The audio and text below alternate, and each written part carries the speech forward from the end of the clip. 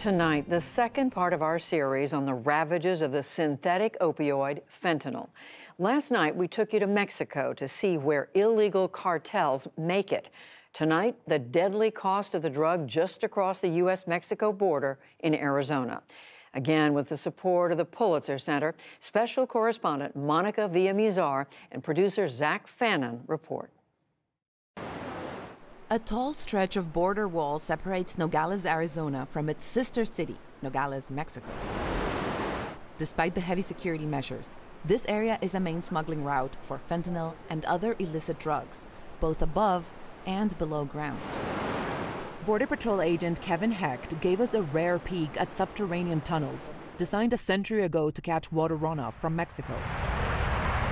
In recent years, the tunnels have also been used by drug smugglers. They can tunnel through the floor in here, or tunnel through the wall and dig to a house or dig to a drainage pipe in the U.S. And then they come out of the pipe and they might go to a car, might have another short tunnel to the bottom of a car. Where that reflective yellow is, that's the border fence. Hecht also showed us this more cramped training tunnel, where his agents learn how to navigate the land below Nogales. He says smugglers connect their illicit tunnels to the existing ones. If they know that there's a big long pipe here, why dig this when you can use it? So they'll breach it, and then they'll, they'll make try and conceal it the best they can, and put the whatever they like. If they cut this out, they'll glue it back in or seal it back in, and then only open it when they need it. And then they'll crawl this to the next point where they don't have any more pipe, and then they'll dig another illicit tunnel. So far in 2021, Hecht and his team have not intercepted any drugs in the tunnels. The vast majority of drug interceptions, including fentanyl, are caught by officers at U.S. ports of entry like this one in Nogales. Guadalupe Ramirez is the director of field operations for Customs and Border Protection's Tucson sector. Years ago, they'd make a compartment in the gas tank so half the gas tank had gas, the other half had narcotics. Uh, and then they started going to the quarter panels, they started going to the tires. Now they're using drive shafts, transaxles, transmissions, uh, even inside the motor. I guarantee you, if you can imagine it, it's been tried. From August 2019 to July 2020, Ramirez and his officers seized just over 1,100 pounds of fentanyl. During that same period of time this year, they seized twice that amount, almost 2,300 pounds. 80 miles to the east, Sergeant Tim Williams works in a specialized unit for the Cochise County Sheriff's Department that tracks smugglers crossing a rural area of the border. My main strategy is is using this little camera that we have here. It's, it's called the Buckeye. These things allow us to get real-time information about what's crossing and what's not. So we see a lot of like what we call military males, between 20 and 30-year-old males crossing the border. The team was launched in 2017 and has caught over 400 drug smugglers so far. Their cameras have captured groups of drug mules crawling on the ground, and even this man with an automatic rifle. Just down the road, the border fence ended. Where we're standing right now is where in Cochise County the fence officially ends on our western border. And it doesn't start again until roughly around Nogales, which is about 70 to 80 miles away. After President Biden was sworn in earlier this year, he signed an executive order that stopped construction of former President Trump's border wall. Today, scattered pieces of wall and construction equipment dot the U.S. side of the southern border, along with long stretches of fenceless border. Arizona State Senator Christine Marsh's 25 year old son, Landon, was one of the last year's 90,000 overdose deaths. Since fentanyl is so inexpensive, it has made its way into virtually every illicit drug. Fentanyl is now found in cocaine, methamphetamine, heroin, and even the painkiller Percocet. Marsh says her son took a Percocet that was laced with fentanyl. He had a, you know, one wild night with a childhood friend, and that resulted in his death. And I contend that a one wild night shouldn't be a death sentence. And he didn't have a habit of taking anything, and I unfortunately know that because I'm the one that went through all of his stuff. There's no evidence of any type of drug use. After her son's death, Marsh discovered that these testing strips that can tell users if fentanyl has been added into other drugs were illegal in Arizona. He was the kind of kid who was prepared for everything I have no doubt that had the strips been available, he would have used it. Earlier this year, Marsh brought a bill to Arizona's state Senate floor that proposed the legalization of these fentanyl testing strips. It was signed into law weeks ago. The law was signed on the on the one year anniversary of Landon's death. I'm very grateful that there was that tiny bit of we're going to turn around and save some other lives on Landon's death date.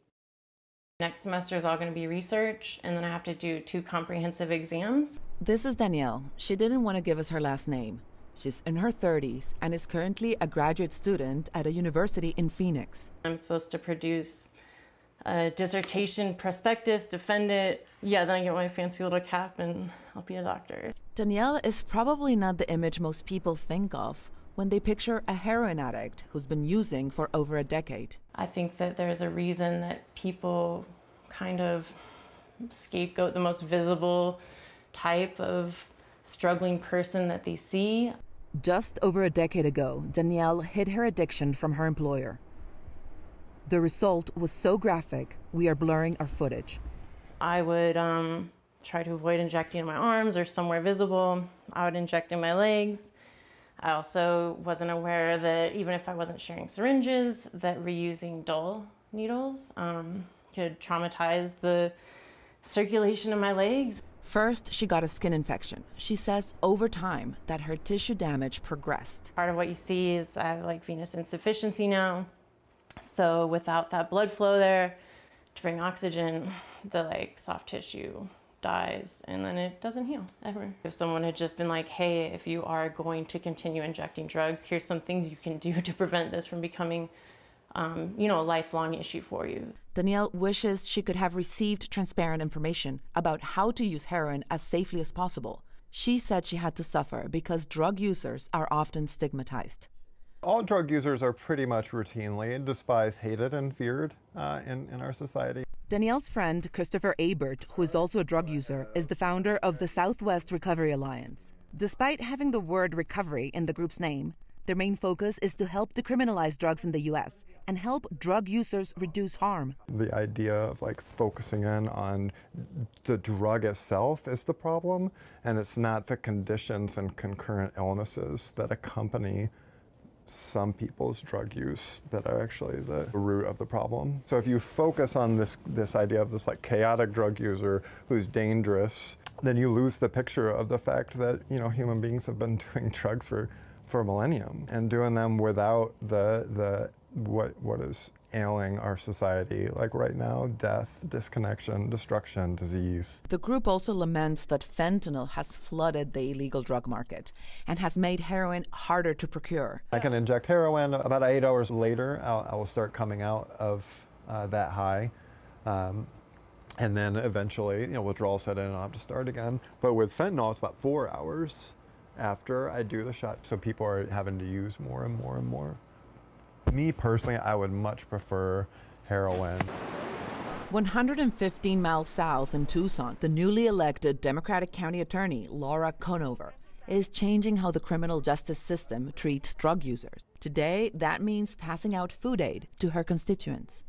We are in and out of neighborhoods that have been decimated by the war on drugs. What we want to look at is a new way forward in making sure that we are not continuing to attempt to incarcerate our way out of substance use disorder. At the New Jerusalem Baptist Church, Conover is trying to personally connect with this black and Latino community that's been disproportionately affected by the war on drugs. Good to see you. How are you? To get the word out that her office is not prosecuting all drug offenses. We're talking about simple possession because there's a substance use disorder. We are looking to make sure that we are moving those people back into the medical and behavioral health realm where where that belongs. However, Conover cautions her office is not legalizing the sale of narcotics.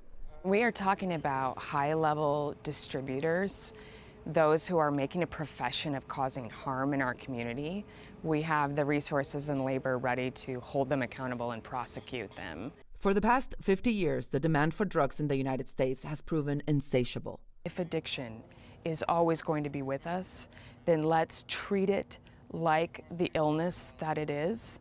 When we bring people back to healthy lives, then the demand for the product goes away. From crack to heroin to methamphetamine to the most deadly illicit opioid America has seen fentanyl. For the PBS NewsHour, I'm Monica Villamizar in Arizona.